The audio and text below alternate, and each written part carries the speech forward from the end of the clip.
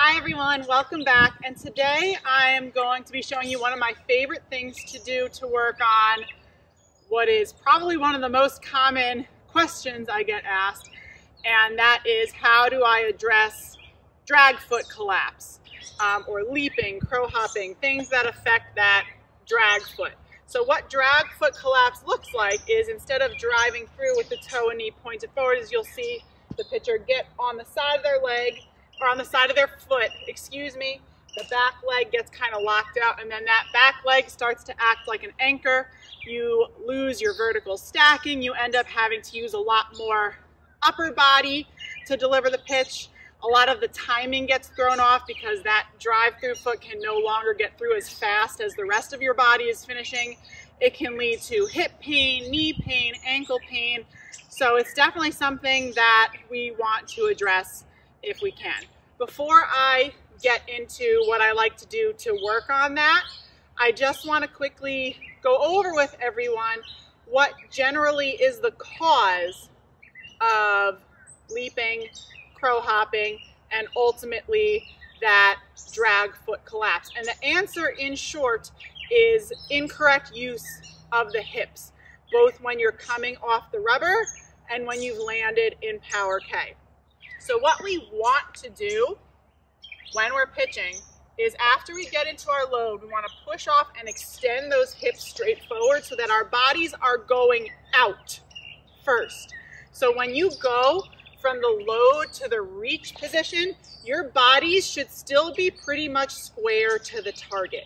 And this reach stage of the pitch is where things I really very often see start to break down and ultimately cause that drag foot collapse.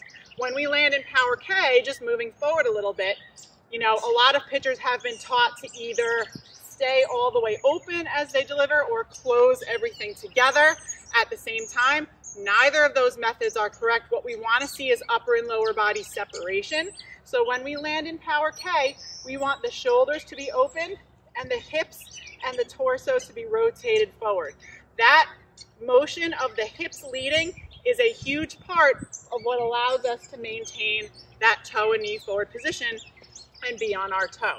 So one of the biggest and most common and literally anytime I see a new student or do a new video analysis on Fastpitch Power Plus, I see this issue. It is one of the like rapidly rising most common issues that is being taught to pitchers is opening the body too early off the rubber. And I would say that 99.9% .9 of the time, this is the leading cause of leaping, crow hopping, and drag foot collapse, okay? Now, a lot of times that opening too early can be a result of strength, strength issues, just not having that glute strength, the hip strength, the core strength to extend straight off the rubber. But a lot of times it's just habit and girls having been taught to literally open themselves as they come off the rubber. So what we'll see, again, instead of everything coming straight out, is we'll see girls start to open as they come off the rubber. And what's gonna happen as a result of that is it's pretty much impossible to maintain a toe and knee forward position. It's also pretty much impossible to keep your weight over that back foot because if you open too early and that foot starts to turn and you try to keep your weight back, even just doing that, it's gonna put a tremendous amount of pressure on your hip, on your lower back. It hurts. So what we see as a result is we'll see girls open and they will leap or they will replant. But even if they're able to open too soon and keep that foot on the ground, what we'll see is that foot is gonna start to turn and get locked out. So we're not in that toe knee forward position. And then by the time they land in power K, they look like that with that back foot flat on its side. And coupled with opening too early, what I always, always see is not engaging the hips correctly in power K. So they will stay all the way open when they land in power K. So instead of this, with the toe and knee forward and the hips driving forward, we will see opening too soon and then staying all the way open in power K. Hips all the way open, shoulders all the way open, back leg locked out, foot on the side.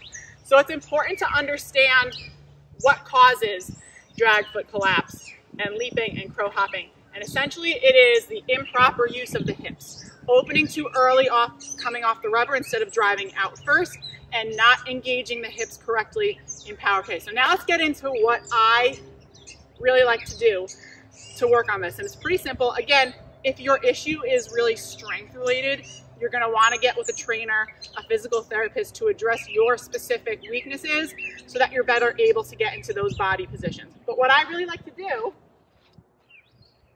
is I have this stack of these little teeny tiny, just three inch cones, okay? Guys, it took me like forever to find cones this size, so I will link the ones that I use um, from our Amazon shop in the description below if you wanna buy some. But all you really need is like five or six of these lined up in a row and I'll show you what I'm gonna do. And this is obviously gonna depend where you line them up is gonna depend if you're a righty or a lefty.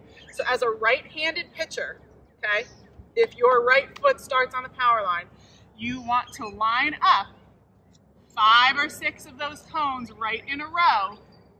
Okay, I'm gonna do, I'm gonna do six for myself because I'm pretty tall, okay? You wanna line up five or six of those cones in a row right on the inside of your foot.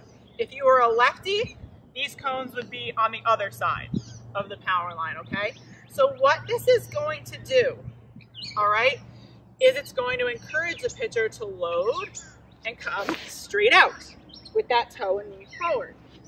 What also generally happens, there's a lot of things that can happen as a result of opening too early, okay?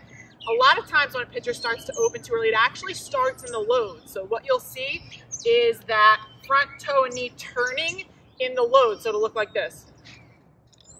And you can see as I do that, I've knocked those cones out of the way. So that's feedback right there for your pitcher who might be turning that foot too early and getting ready to start that process of opening too early instead of driving out.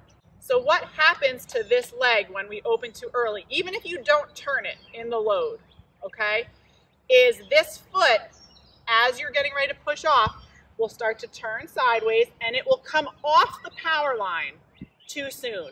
When we go out, okay, when we land in power K, that foot should still be on the power line. And then once we do our drive through, it can come off, you know, and come in like a nice curved line through to the front foot. But what will happen when we open those hips too early is the foot will immediately pull off the power line. And I bet you can guess what's gonna happen to those cones if I do that. So again, if I'm doing this correctly, I can come straight out without hitting those cones.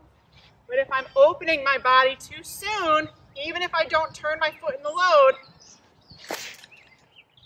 there go those cones, okay? So that's that feedback for opening too early as you come off the rubber. You can also move these cones a little bit further up so that they're positioned in the spot where the drag foot would, would actually collapse because then you'll knock them away too.